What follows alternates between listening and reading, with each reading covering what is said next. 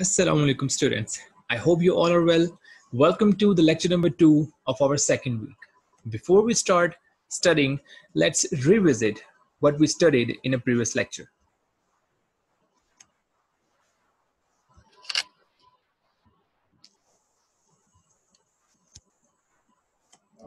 Air first enters the body through the mouth or nose and quickly moves to the pharynx or throat. From there, the air passes through the larynx or voice box and enters the trachea. The trachea is a strong tube that contains rings of cartilage that prevent it from collapsing. Within the lungs, the trachea branches into a left and right bronchus, which further divide into smaller and smaller branches called bronchioles. The smallest bronchioles end in tiny air sacs called alveoli, which inflate during inhalation and deflate during exhalation. Gas exchange is the delivery of oxygen from the lungs to the bloodstream and the elimination of carbon dioxide from the bloodstream to the lungs. It occurs in the lungs between the alveoli and a network of tiny blood vessels called capillaries, which are located in the walls of the alveoli. Here, you see red blood cells traveling through the capillaries. The walls of the alveoli actually share a membrane with the capillaries. That's how close they are. This makes it possible for oxygen and carbon dioxide to diffuse or move freely between the respiratory system and the bloodstream. Oxygen molecules attach to red blood cells, which travel back to the heart. At the same time, the carbon dioxide molecules in the alveoli are blown out of the body with the next exhalation. Gas exchange allows the body to replenish the oxygen and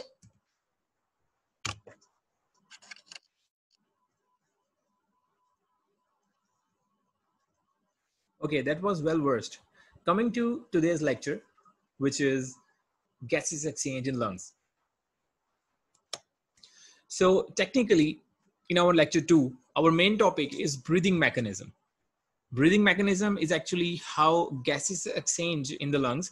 And in this process, it includes inspiration and exhalation and all those things that are involved in this process. Starting with the inspiration. Kids, we know that inspiration is actually the breathing in of the air. अच्छा जब हम सांस ले रहे हैं so in last lecture we studied about ribs हमने ribs का पढ़ा था and when I talk about ribs हमने कहा था there are about 12 pairs of ribs so in 12 pairs में से कुछ जो है वो दरमियान में sternum के साथ attached हैं are uh, there are some ribs जो free जिनको हम free ribs कहते हैं other things कि ribs के बाहर वाले as external intercostal muscles और ये internal intercostal muscles इसके अंदर जो है अंदर वाले तो now we know the difference coming to the inspiration while we breathe in the external intercostal muscles contract and internal intercostal muscles relax the point is अगर आपको इस इमेज में क्लियरली नज़र आ रहा है this person is breathing in and when he is breathing in तो breathing in का मतलब है लंग्स में एयर इन्फ्लेट करेगी एंड लंग्स विल एक्सपैंड और जब लंग्स एक्सपैंड कर रहे हैं you know the ribs are rising ribs rise कर रही हैं और the next thing which is happening जो रिब्स का स्टर्नम है this sternum is moving upward and outward और आउट तक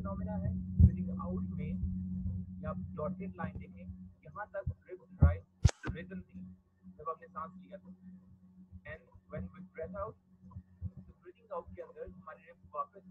नॉर्मल पोजिशन पे आ जाती है।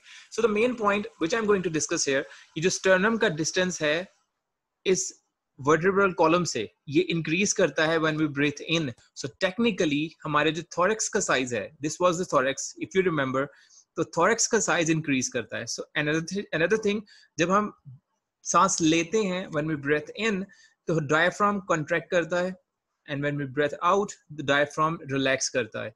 द इंपॉर्टेंट थिंग्स जो आपको याद रखनी है कि while breathing in external intercostal muscle contract करते हैं इंटरनल इंटरकोस्टल मसल रिलैक्स करते हैं एंड वाइस वर्सा इसी तरह जब हम वेन वी ब्रीद आउट तो एक्सटर्नल इंटरकोस्टल मसल रिलैक्स करते हैं और इंटरनल इंटरकोस्टल मसल कॉन्ट्रैक्ट कर रहे होते हैं। एंड नेक्स्ट थिंग कि जब हम ब्रीद इन करते हैं तो ब्रीदिंग ब्रीदिंग इन में हमारे थोरेक्स का साइज़ बड़ा हो जाता है। थोरेक्स का साइज़ इंक्रीज करता है। And how do we measure that कि हमारे बैकबोन से स्टर्नम का डिस्टेंस बढ़ जाता है। इट मीन्स कि थोरेक्स का जो डोर्सो वेंट्रल डायामीटर है और you can just say diameter thorax का डायामीटर इंक्रीज करता है। और वो इंक्रीज क्यों कर रहा है? बिकॉज़ लंग्स इन्फ्लेट कर रहे हैं। Okay what actually happens here जब हम ब्रीदिंग इन की बात करते हैं ब्रीदिंग इन के अंदर हमारे लंग्स में these are small tiny alveoli we know what are alveoli now technically alveoli को हम स्ट्रक्चरल एंड फंक्शनल यूनिट कहते हैं. Functional unit you can say that the functional unit of the lungs हम alveoli कह रहे होते हैं उनको बिकॉज़ यहाँ अब जब हम इन्फ्लेट करते हैं एयर को इनहेल करते हैं तो हमारे लंग्स इन्फ्लेट कर जाते हैं. सो so वो टेक्निकली हमारे एल्वियोलाइज हैं जो कि इन्फ्लेट करते हैं। Alveoli are end point of respiratory system तो सबसे लास्ट पे। हमारे पास ट्रेकिया है देन ब्रोंकाई है ब्रोंकाई के बाद ब्रोंकियोल्स हैं ब्रोंकियोल्स के बाद ये टाइनी एंड पॉइंट है रेस्पिरेटरी सिस्टम का विच आर एल्वियोलाई और यहाँ पर हो रहा है हमारा gases exchange which is carbon dioxide and oxygen in the bloodstream जो बाकी की गैसेस हैं एनवायरनमेंट में, वो एज इट इज़ इनहेल करते हैं और हम एक्सहेल कर देते हैं।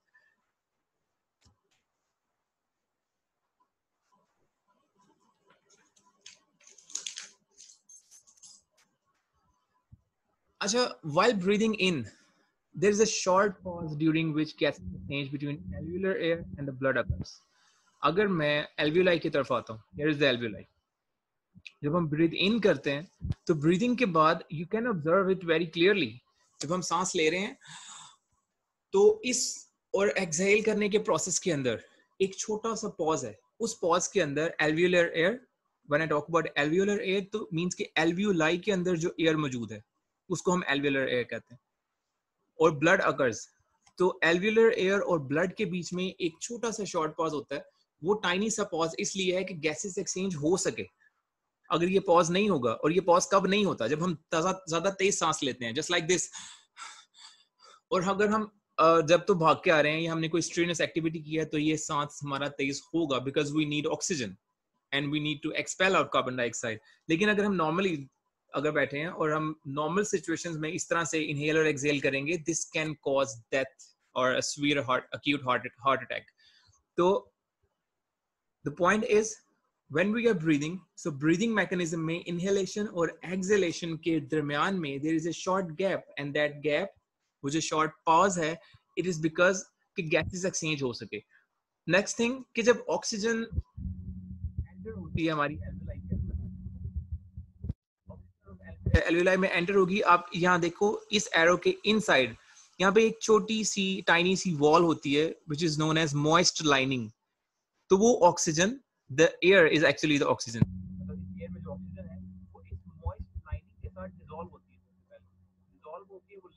चले जाएगी। लिक्विड फॉर्म में होने के बाद अब नेक्स्ट चीज़ क्या है? Oxygen dissolves in the moisture lining of the alveolar wall and combines ये वो ऑक्सीहीमोग्लोबिन है, जो हमारी बॉडी में है at the same time carbon carbon dioxide dissolve the opposite direction अच्छा होता इस तरह से में। आपने इनटेक की। मतलब इनहेल की, और वो air eventually along with its oxygen carbon dioxide nitrogen and all those things वो आती है आपकी एल्वियोलर कैविटी में। पूरे लंग्स के अंदर, इन सब लंग्स में, इन सब एल्वियोलाइज की एल्वियोलर कैविटीज के अंदर वो ऑक्सीजन एयर आएगी उस एयर में। अब जब गैसेस एक्सचेंज हो रहा है लंग्स के अंदर तो it occurs by diffusion so blood enter हो रहा है। सॉरी जो ऑक्सीजन इंस्पायर्ड एयर के अंदर है it has 21% oxygen and carbon dioxide है uh, 0.04% इन ब्लड कैपिलरीज के अंदर। जो ब्लड हमारे अंदर मूव कर रहा है इस वक्त जो लंग्स की तरफ़ आया हुआ है उसके अंदर जो ब्लड है उसमें ऑक्सीजन की लेवल कम है और कार्बन डाइऑक्साइड की लेवल ज़्यादा है। Why is it that so actually क्या होता है, जो ब्लड लेट सपोज़ जो ब्लड आ रहा है लिवर की तरफ़ से लिवर ने अपना जो वर्कआउट जो भी करना था, उसके बाद उसने ऑक्सीजन यूज़ कर ली और as a waste product carbon dioxide respiration के रिज़ल्ट में जो कार्बन डाइऑक्साइड बनी थी, वो ब्लड के अंदर वापस पोर कर दी। अब वही कार्बन डाइऑक्साइड वाला कार्बन डाइऑक्साइड रिच ब्लड वो आ रहा है लंग्स की तरफ़, यहाँ पे, इन जगहों पे। हेयर ये जो आपको रेड रेड डॉट्स नज़र आ रहे हैं these are red blood cells so in blood cells के अंदर कार्बन डाइऑक्साइड की क्वांटिटी ज़्यादा है और ऑक्सीजन की कम यहाँ पर एल्वियोलर कैविटी में ऑक्सीजन की क्वांटिटी ज़्यादा है और कार्बन डाइऑक्साइड की क्वांटिटी कम। सो so, होगा क्या? यहाँ से ऑक्सीजन 21 परसेंट ऑक्सीजन डिफ्यूज करेगी to the lower concentration gradient यहाँ से जो कार्बन डाइऑक्साइड है which is about four percent होती है सो so ये four percent oxygen carbon dioxide diffuse करेगी to the zero point zero four percent to the oxygen concentration gradient and so जब आप इनहेल करते हो इनहेल करने के बाद आप एक्सेल करते हैं। सो so, एक्सेलेशन के अंदर I accidentally wrote inspiration. It is exhalation or expiration. अच्छा exhalation में inspiration में we can draw a comparative table कि जिसके अंदर अच्छा एक्सलेशन में डायफ्राम रिलैक्स कर रहा है इनहेलेशन में डायफ्राम कंट्रैक्ट करता है इंटरकोस्टल मसल्स एक्सलेशन में रिलैक्स कर रहे हैं इनहेलेशन में कॉन्ट्रैक्ट करते हैं। रिब्स और स्टर्नम जो है, वो अपनी ओरिजिनल पोजीशन पे आ जाते हैं एक्सलेशन में, लेकिन इनहेलेशन में they move upward and outward और वो थोरेक्स का साइज़ इंक्रीज कर देते हैं। आउट ऑफ़ द लंग और जैसे ही एयर हम फोर्स आउट करते हैं, साथ ही ब्रेन की तरफ़ से अगेन लंग्स की तरफ़ मैसेज आता है कि वी नीड मोर ऑक्सीजन तो वो लंग्स एक्सपैंड करते हैं। जब लंग्स जैसे ही एक्सपैंड करते हैं सो दे इनटेक मोर ऑक्सीजन जब मोर ऑक्सीजन इनटेक करेंगे वंस अगेन यहाँ पर गैसेस एक्सचेंज होगा लंग्स के अंदर, और वही ऑक्सीजन दोबारा से हमारे लंग हमारे ब्लड में जाएगी कार्बन डाइऑक्साइड ब्लड से बाहर आएगी। अच्छा इस सब प्रोसेस में एक बहुत इंपॉर्टेंट पॉइंट है। हमारी पूरी बॉडी में ब्रेन से लेकर पाँव तक, सर से लेकर पाँव तक हमें हर ऑर्गन को ऑक्सीजन रिक्वायर्ड है। अगर किसी जगह पर किसी ऑर्गन को ऑक्सीजन नहीं पहुँचता तो वो ऑर्गन डेथ हो, उसकी डेथ हो जाएगी। मे बी कि उस ऑर्गन को बॉडी से कट ऑफ़ करना पड़ जाए। एक चीज़ सेकेंड थिंग कि जब वो कोई भी ऑर्गन ऑक्सीजन यूज़ कर रहा है तो वो कार्बन डाइऑक्साइड प्रोड्यूस कर रहा है एज अ रिज़ल्ट और वो ऑक्सीजन किस तरह से यूज़ कर रहा है? क्योंकि बॉडी में रेस्पायरेशन हो रही है और हर दफ़ा रेस्पायरेशन के रिज़ल्ट में कार्बन डाइऑक्साइड बनेगी। और कार्बन डाइऑक्साइड को बॉडी से बाहर जाना है हर सूरत because it's a waste product carbon dioxide is actually toxic okay एक चीज़ जो पहले भी डिस्कस हुई कि जब कार्बन ऑक्सीजन एंटर होती है एल्विलाई के अंदर। सो so, वो एल्विलाई की मॉइस्ट लाइनिंग के साथ डिजोल्व होके आगे किसके साथ रिएक्ट करती हैं? हीमोग्लोबिन के साथ and they form oxy haemoglobin technically एक हीमोग्लोबिन के मॉलिक्यूल के साथ फोर ऑक्सीजन के मॉलिक्यूल्स अटैच होते हैं हो सकते हैं। So haemoglobin has one one molecule of haemoglobin has the capacity to bind with four oxygen molecules and it forms oxyhaemoglobin ये आपको एक हीमोग्लोबिन के साथ जो फोर ऑक्सीजन मॉलिक्यूल्स नज़र आ रहे हैं इट इज़ ऑक्सीहीमोग्लोबिन मॉलिक्यूल और बॉडी टेक्निकली क्या करती है? अच्छा अब यहाँ पे आपको नज़र आएगा, ये रिवर्सिबल रिएक्शन है। रिवर्सिबल इसलिए क्योंकि ये जहाँ जहाँ से भी मूव करेगा मतलब ये ऑक्सीजन हीमो ऑक्सी हीमोग्लोबिन का मॉलिक्यूल बॉडी में सब जगह मूव कर रहा है। अब ये क्या होगा यहाँ पे? जिस जगह पर ऑक्सीजन की क्वांटिटी कम है, वहाँ पर ऑक्सीजन दे दी जाएगी। यहाँ से ये वाले ऑक्सीजन मूव कर जाएँगे। और जहाँ पे ऑक्सीजन ज़्यादा है तो वहाँ से ऑक्सीजन ये ले भी लेता है। अगर किसी एरिया में ऑक्सीजन की क्वांटिटी ज़्यादा okay coming to the last thing we know that our body our organs require oxygen and they require energy so technically हमारे पास रेस्पिरेशन के लिए ऑक्सीजन का होना ज़रूरी है। So definitely we need oxygen और ऑक्सीजन में यूज़ uh, करके जब रेस्पिरेशन हो रही है विच इज़ एरोबिक रेस्पिरेशन तो उसके रिज़ल्ट में कार्बन डाइऑक्साइड रिलीज़ होती है। And this carbon dioxide we know that कि ये गैसियस फॉर्म में is in the gaseous form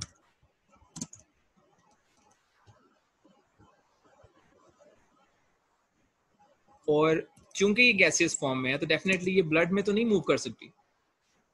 so so, इस कार्बन डाइऑक्साइड को it is converted this is very important thing this is converted to hydrogen carbonate ion ये hydrogen carbonate ion dissolve होता है into the blood and from the enters the blood and then it is moved to lungs so technically आपके different organ से जहां से भी carbon dioxide release हो रही है उस कार्बन डाइऑक्साइड को कन्वर्ट किया जाता है इनटू हाइड्रोजन कार्बोनेट आयन ये hydrogen carbonate ion then further आगे मूव किया जाता है टुवर्ड्स द लंग्स और जैसे ही लंग्स में ये वापस जाएगा, यहाँ पर, जैसे ये इधर आता है हाइड्रोजन कार्बोनेट आयन यहाँ पर दोबारा से ये रिकन्वर्ट हो जाता है इनटू कार्बन डाइऑक्साइड तो कार्बन डाइऑक्साइड में कन्वर्ट होते ही alveolar cavity and the air which you are actually exhaling, जो अब हवा अब exhale कर रहे हो उसके अंदर कार्बन डाइऑक्साइड मौजूद है which was actually in your lungs और in your blood it is in terms of hydrogen carbonate ion so you have to remember this thing also and thank you so much Allah